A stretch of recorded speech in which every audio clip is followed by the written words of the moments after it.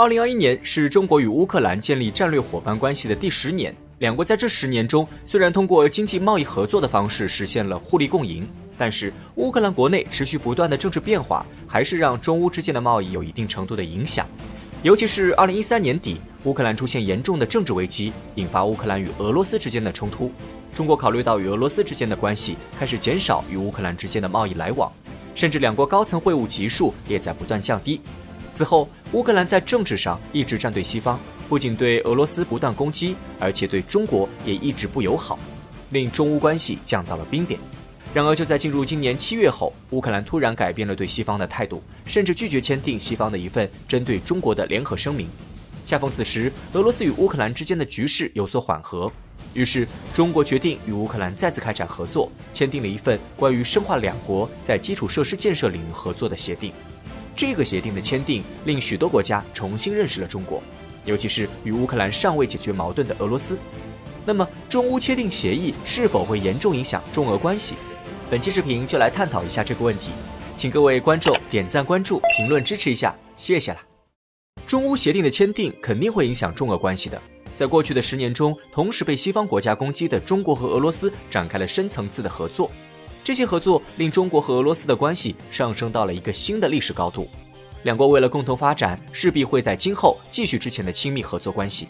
然而，想要关系更进一步，必须要重申两国的政治原则。而对于俄罗斯来说，克里米亚地区的归属权是坚决不能退让的。克里米亚问题发生在二零一三年，由于乌克兰国内爆发严重危机，导致克里米亚地区趁机公投离开乌克兰，加入俄罗斯。此事成为乌克兰和俄罗斯之间最大的矛盾和冲突。时至今日，乌克兰一些政府官员仍然叫嚣着要将克里米亚的五十万俄罗斯人赶走，收复克里米亚地区。中国在克里米亚公投一事上选择支持俄罗斯。因为在当时，乌克兰已经在政治上倒向西方国家，选择与美国等国家攻击中国。与之相反的是，当时的俄罗斯与中国关系亲密。另外，克里米亚地区是通过和平的方式并入俄罗斯的，并非俄罗斯用武力威胁的，所以中国选择了支持。而中国这样的选择势必会影响中国与乌克兰的关系，但中国还是做出了选择，因为与反复无常的乌克兰相比，一个稳定的中俄关系才是中国所需要的。乌克兰自国内危机爆发后，便一直深陷政治危机和地区冲突中。在这样的情况下，即使中国愿意与之开展相关合作，具体事务也无法正常进行。乌克兰曾经是最早响应“一带一路”的欧洲国家之一，然而乌克兰危机的爆发波及了两国在“一带一路”倡议下的经贸合作。二零一四年，中乌签署的能源、新能源、农业和航空工业等领域的合作项目被迫暂停。克里米亚公投后，中方停止了在克里米亚半岛的港口设施。农业合作和工业项目，中乌双方政府间工作委员会会议一直到二零一五年十月才得以恢复。会晤层级也有危机之前的副总理级下调至部长级。此后，乌克兰的局势并没有得到缓解，美国和欧洲国家开始介入其中，令乌克兰成为美欧与俄罗斯的博弈战场。受此影响，乌克兰的交通和贸易开始出现停顿。中国在乌克兰的一带一路建设处于搁浅的状态。一个无法保持社会稳定的乌克兰，不是中国想要的贸易合作对象。甚至因为俄罗斯与乌克兰的持续对峙，导致中乌连最基本的贸易都无法正常运行。俄罗斯在收回克里米亚半岛之后，俄乌两国实际上处于准战争状态。俄罗斯与乌克兰之间保持着长期的能源贸易关系，因为俄罗斯的能源大部分是经过乌克兰境内输送向欧洲的。受两国对峙的影响，俄罗斯直接取消了与乌克兰前总统亚努科维奇签署的对乌克兰的优惠能源价格，由原来的每桶一百五十美元直接提高到与欧盟价格一致的每桶三百五十美元。后在欧盟斡旋下，俄才给打了些折扣。二零一四年六月，乌克兰总统选举后，新任总统波罗申科为了打破俄罗斯对乌克兰的经济封锁，于是迅速的与欧盟签署了联系国地位协定。为了阻止乌克兰新政府彻底倒向西方，俄罗斯宣布取消了对乌克兰出口食品和冶金产品的优惠关税，增加了口岸对乌克兰食品的检疫标准，导致两国口岸出现长达几公里的运输车排队现象。而在顿巴斯地区，两国的冲突有过之而无不及。俄罗斯要求乌政府给予顿巴斯地区特殊的自治权，并进行宪法改革。乌政府则强调，政治改革和修宪的前提条件就是俄罗斯归还两国边界的控制权。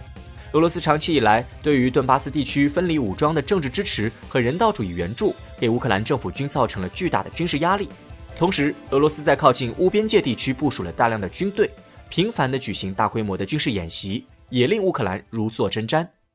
俄罗斯带给乌克兰的巨大压力，令乌克兰政府急于摆脱，他们选择了倒向俄罗斯的敌人——美国和北约。为了抑制俄罗斯在边境部署的军队，乌克兰决定加入北约，依靠北约军事力量来与俄罗斯对抗。然而，乌克兰想要加入北约的想法却一直无法实现。俄罗斯在长久以来与北约的对峙中不断释放信号，一旦乌克兰加入北约，俄罗斯将会开启战争，因为俄罗斯无法容忍北约的军事武器射程可以很容易地将俄罗斯大部分领土包括在内。对于北约来说，在没有摸清俄罗斯军事力量以及战争底线的真实情况下，是不会轻易与俄罗斯发动战争的。北约和俄罗斯的相继表态令乌克兰非常难受。既要时刻求助北约，又要应对俄罗斯，同时还要稳定国内情况。于是，乌克兰决定要打破相对平稳的局势，让美国和北约看到乌克兰的价值。在2021年上半年，乌克兰主动向东部顿巴斯地区派出军队，重启与俄罗斯的冲突。结果，俄罗斯政府反应迅速，及时将军队部署到边境地区。乌克兰在军事力量相对落入下风的情况下，主动求助北约。然而，北约并没有给予乌克兰更多的支持。于是，乌克兰政府开始了反复无常的举动：一会提出要与俄罗斯总统普京在顿巴斯地区和谈，一会又发布声明称乌克兰已经加入北约，一会又与西方国家联合对中国进行攻击。这样做的结果是，俄罗斯并未理会乌克兰的邀请。美国总统拜登亲自出来辟谣，乌克兰并未加入北约，而中国与俄罗斯一样，并未理会乌克兰。中国与乌克兰的关系深受俄乌关系的影响。如果俄罗斯缓和与乌克兰的关系，那么中乌关系也会得到改善和加强。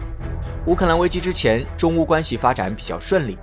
二零一三年十二月，乌前总统亚努科维奇访华，两国签署了中乌友好合作条约等文件。但是在乌克兰危机爆发后，中国为了维护和发展与俄罗斯的全面战略协作伙伴关系，开始适当拉开了与乌克兰的距离。虽然乌克兰在危机后仍对“一带一路”倡议表示出了很大热情，愿意在海港、交通运输、农业等众多领域展开合作，但中国为了顾及俄罗斯的感受，拒绝了乌克兰的很多建议，两国之间的高层来往也暂时中断。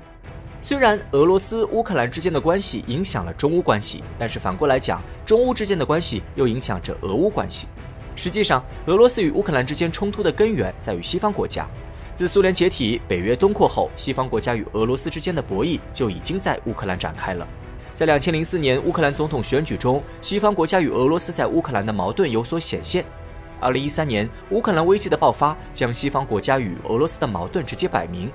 而在危机过后，新组建的乌克兰政府却在很大程度上倒向西方，导致与俄罗斯甚至是与中国的关系恶化。俄罗斯总统普京曾说：“俄罗斯过去不会，现在也不会反对乌克兰。乌克兰应捍卫自身利益，而不是成为他人对俄斗争的工具。”近年来，俄罗斯与乌克兰之间出现了一堵墙，这是一个悲剧。俄罗斯与乌克兰曾经都在苏联内，在风俗习惯上是非常接近的。然而，受西方国家蛊惑，乌克兰开始将俄罗斯看作敌人，这显然是错误的。很多事实已经证明，乌克兰是不能离开俄罗斯的，不管是出于地缘关系，还是经济政治纽带。在二零一三年的乌克兰危机中，乌克兰内部分裂开始倒向西方，这引起了克里米亚地区的不满，于是他们自行举办公投并入俄罗斯。此后，俄乌开始长期对峙。然而，即使在对峙期间，俄罗斯与乌克兰之间的经济联系依然紧密，俄罗斯依然是乌克兰最大的进口国和出口国。正如普京所说的那样，在二零一四年时，美国和欧盟试图迫使乌克兰减少与俄罗斯的经济合作。他们给乌克兰承诺，让其成为欧洲领先国家那样经济繁荣。然而，直到2021年时，乌克兰的经济也没有恢复繁荣，成为领先国，反而成为了欧洲最贫穷的国家。所以，普京直接声明，俄罗斯对于乌克兰的对话持开放态度，并准备好讨论最棘手的问题。但乌克兰应捍卫自身利益，而不是为他人服务，不能成为他人对俄斗争的工具。由此看来，乌克兰和俄罗斯之间矛盾冲突的根源就在于西方国家。如果中国与乌克兰持续合作，从而降低西方国家在乌克兰的影响，那么不仅不会影响中俄关系，反而会增强中俄关系。